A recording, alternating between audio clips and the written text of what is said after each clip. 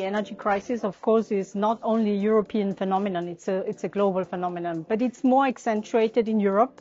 We've lost a lot of capacity, primary capacity in Europe, roughly 900,000 tons between September and now, and this is due to the high energy prices. I think the crisis with the huge increases has started much before the Ukrainian-Russian war. Uh, it's difficult for the businesses uh, because it's not clear where energy prices are going to go. Uh, Europe is not competitive globally because of carbon prices, high regulatory costs, and also Europe is very much under pressure by low-priced imports. So it's really important for us to defend our industry, to defend an entire value chain in Europe for aluminium.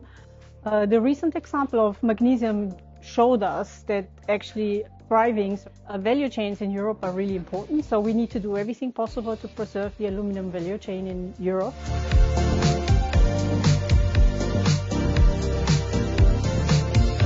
What we need from legislators is uh, green energy at affordable prices.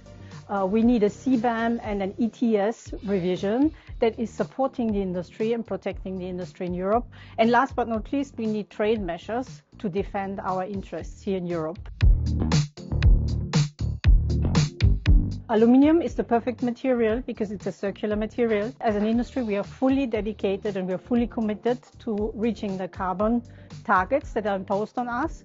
And we would really like to play an active part in this.